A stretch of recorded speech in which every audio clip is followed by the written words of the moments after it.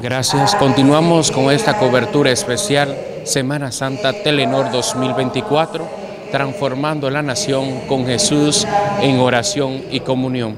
Estamos en este momento en la parroquia San Francisco de Asís, donde estamos visitando los monumentos de las parroquias que pertenecen a San Francisco de Macorís, o más bien a esta diócesis.